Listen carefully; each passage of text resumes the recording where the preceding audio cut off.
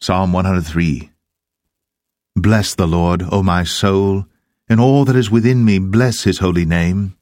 Bless the Lord, O my soul, and forget not all his benefits, who forgiveth all thine iniquities, who healeth all thy diseases, who redeemeth thy life from destruction, who crowneth thee with loving kindness and tender mercies, who satisfieth thy mouth with good things, so that thy youth is renewed like the eagles.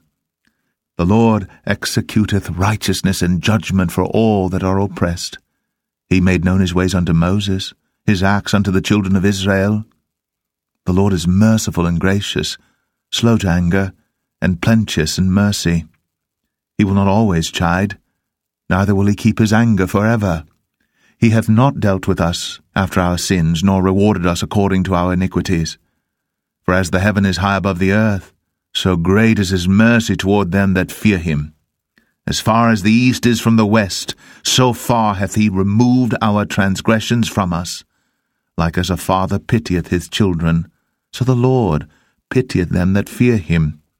For he knoweth our frame, he remembereth that we are dust.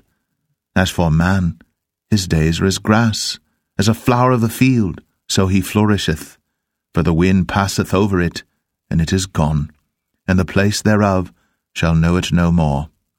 But the mercy of the Lord is from everlasting to everlasting upon them that fear him, and his righteousness unto children's children, to such as keep his covenant, and to those that remember his commandments to do them. The Lord hath prepared his throne in the heavens, and his kingdom ruleth over all. Bless the Lord, ye his angels, that excel in strength, that do his commandments, hearkening unto the voice of his word. Bless ye the Lord, all ye his hosts, ye ministers of his, that do his pleasure.